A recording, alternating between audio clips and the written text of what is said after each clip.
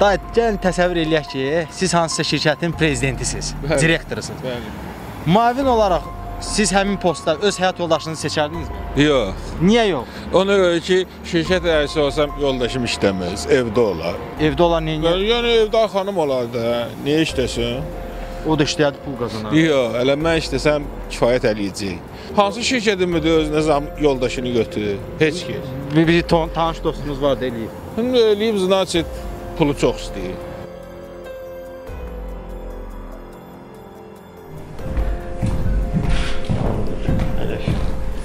Bu gün mənim sərəncamımla Mehriban Əliyeva Azərbaycan Respublikasının birinci vitse-prezidenti vəzifəsinə təyin edilib.